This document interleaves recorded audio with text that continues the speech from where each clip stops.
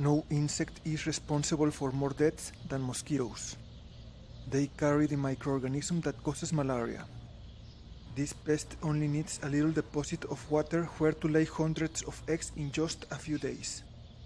The eggs adhere to each other thanks to a sticky coating, forming a little raft that will not sink and dry out due to its direct contact with the water.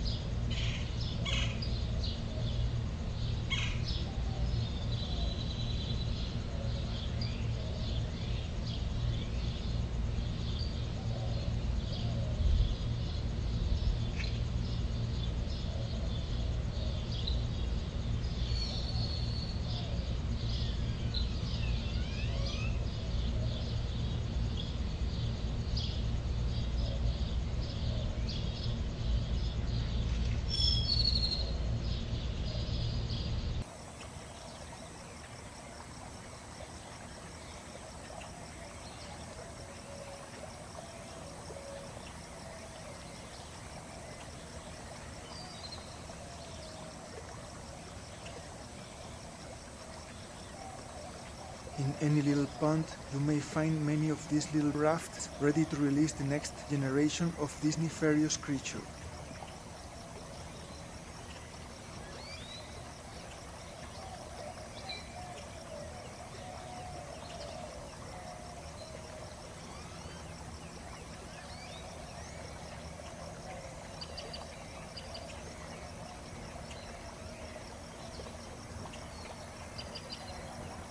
At normal temperature, it takes about 3 days for the embryos to be ready to eclose by pushing out the little operculum.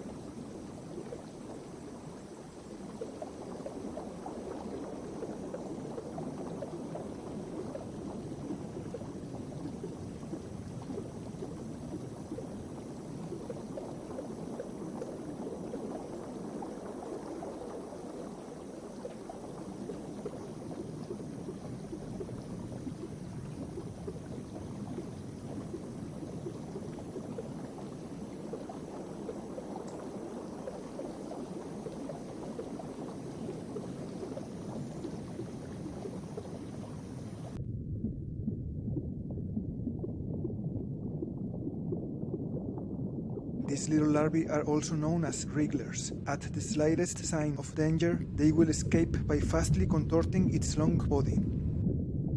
They feed from any microscopic particle they can ingest.